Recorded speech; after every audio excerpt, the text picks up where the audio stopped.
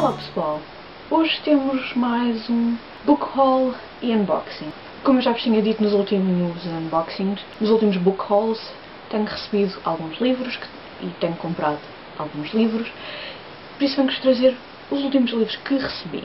Uh, fiz uma encomenda no Awesome Books em que comprei quatro livros. Infelizmente um deles depois acabou por, eles acabaram por não ter em stock e foi-me devolvido o dinheiro.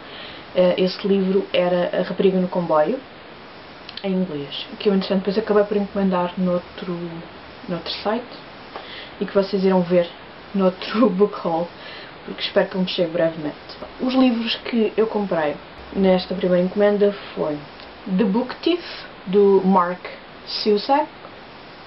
É um livro que eu já vejo aqui no Booktube já há bastante tempo. Tenho alguma curiosidade, não só por ser sobre livros, mas também por ser durante a Segunda Guerra Mundial. E hum, achei que era uma, uma boa altura para finalmente o mandar ver. Uh, eu escolhi esta edição.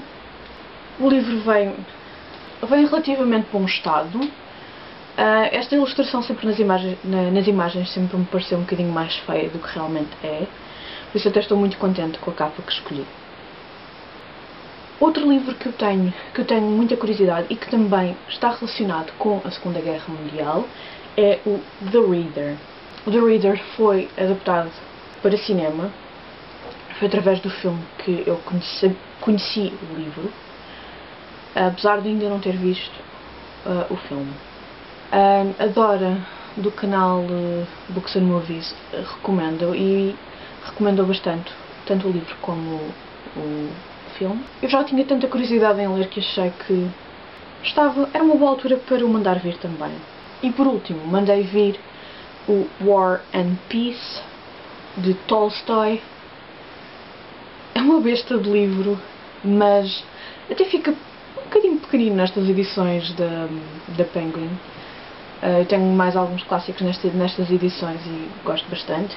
Claro que tem o defeito da letra ser para lá de minúscula, mas as capas são engraçadas, é um clássico que eu tenho bastante curiosidade em ler, apesar de não me ver a pegar nele já, já, já. É um livro para ler ou ir lendo.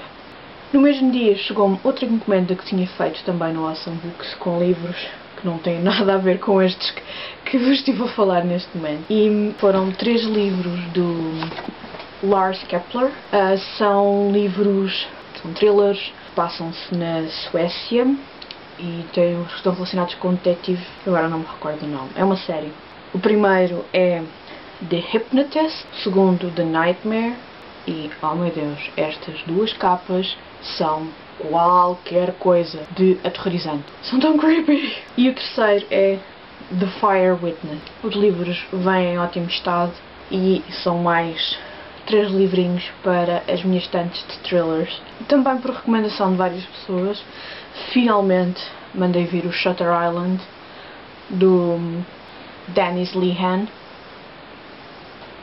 Um, eu conheço o Mystic River, tanto o filme como o livro são espetaculares. Já me disseram que este do Shutter Island também é muito bom, tanto o filme como o livro.